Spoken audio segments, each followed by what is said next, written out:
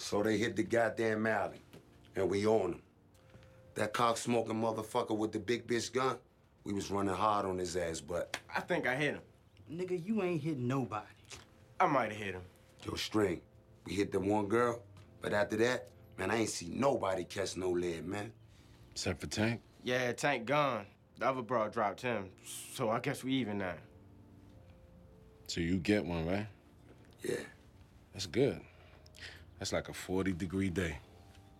Ain't nobody got nothing to say about a 40 degree day. 50, bring a smile to your face.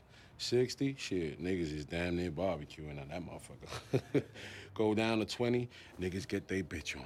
Get they blood complaining. But 40, nobody give a fuck about 40. Nobody remember 40, and y'all niggas is giving me way too many 40 degree days. What the fuck?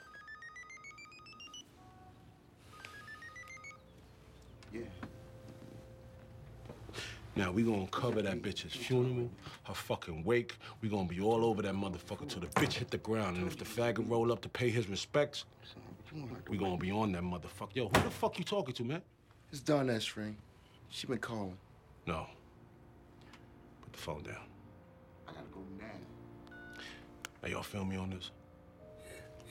Yeah. Yeah. You show up, you hit him like a motherfucking. Like a 40 degree day.